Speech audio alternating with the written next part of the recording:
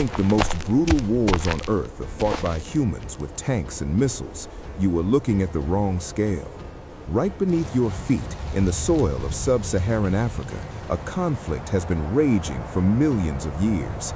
It is a war of total annihilation, involving millions of soldiers, chemical weapons, armored tanks, and siege tactics. This is not a random brawl. It is a calculated, strategic military campaign between the Matabele ants and the termite colonies. We are talking about an aggressor that has evolved solely to hunt one specific enemy and a defender that has built fortress cities to keep them out. The violence you are about to witness is graphic. Heads will be severed, limbs will be torn off, toxic glue will be sprayed.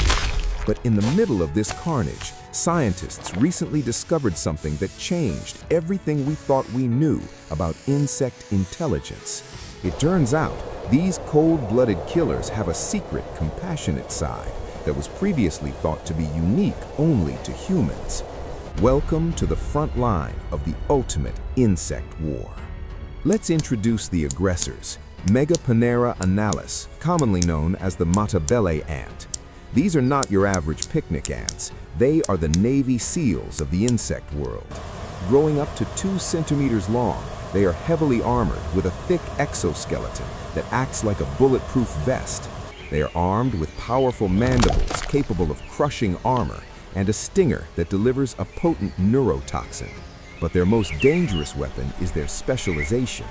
They do not eat sugar, they do not scavenge for crumbs, they eat termites exclusively.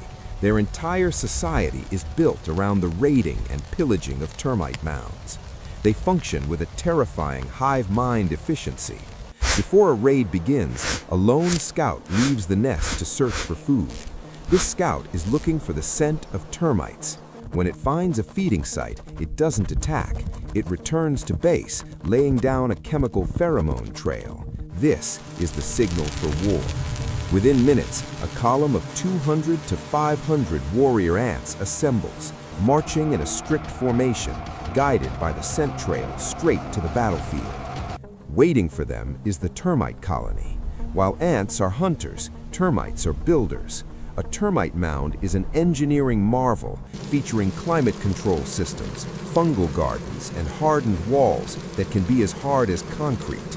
But the termites are not defenseless pacifists. They have a caste system designed for war. The workers are soft-bodied and vulnerable, but the soldier termites are biological nightmares. They have evolved massive, oversized heads that are so large they cannot even feed themselves. Workers have to feed them. These heads are heavily muscle-bound to power their weapons. Depending on the species, some soldier termites have razor-sharp mandibles that can slice an ant in half. Others, known as nasute termites, have evolved a gun-like nozzle on their faces.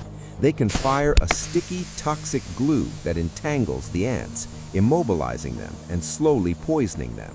When the alarm is raised, the workers retreat deep into the mound to seal off the queen, while the soldiers rush to the breach, forming a living wall of snapping jaws and chemical sprayers. They are the Spartans of the soil, ready to die to protect the colony. The battle begins the moment the ant column arrives. It is chaos, but controlled chaos. The larger, major ants act as tanks, using their sheer size to break through the termite defense lines formed by the soldiers. The smaller, minor ants rush into the gaps, grabbing the soft termite workers. It is a massacre. The sound of clicking mandibles and the smell of alarm pheromones fill the air. The termites fight back ferociously. The soldier termites clamp on to the ant's legs and antennae. Once a termite soldier bites down, it often refuses to let go, even if its body is torn apart. You will often see an ant running around with the severed head of a termite still clamped onto its leg.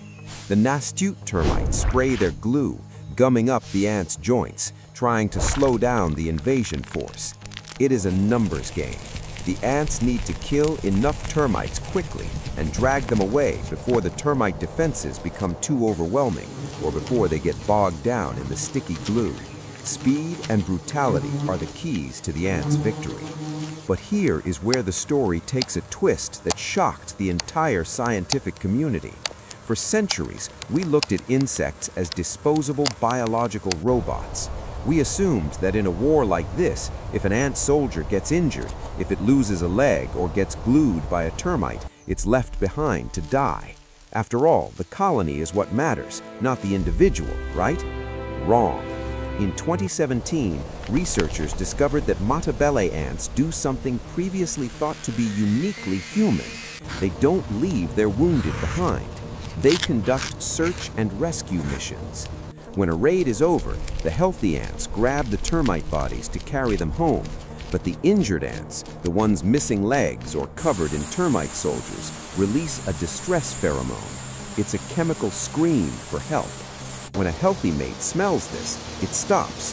It inspects the injured ant. The injured ant actually cooperates by curling up its legs to make itself easier to carry. The healthy ant then picks up its wounded comrade and carries it all the way back to the nest. This isn't just a random act, it is a systematic evacuation. But it gets even crazier. Once they're back in the safety of the nest, the treatment begins.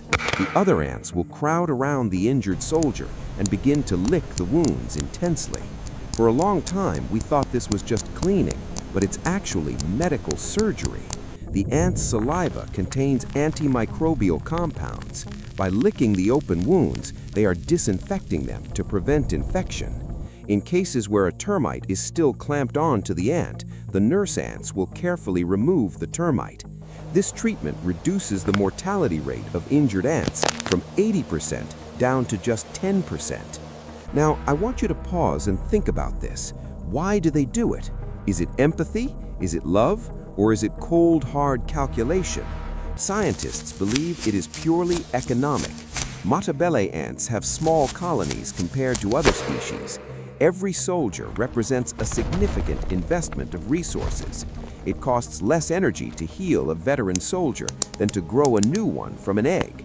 The medic behavior is simply a way to maintain their military strength. Interestingly, if an ant is too heavily injured, say missing five legs, the other ants will ignore its distress calls. They perform triage. They assess who is savable and who is not. If you're too broken, you're left to die for the good of the colony. It's a brutal, pragmatic form of mercy. This raises a fascinating question for the comments section.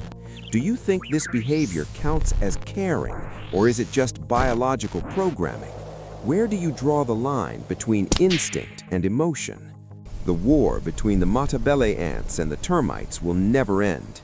It's an eternal cycle of attack and defense, innovation and adaptation. The termites build stronger walls, the ants develop better tactics, the termites evolve stickier glue, the ants evolve medical care.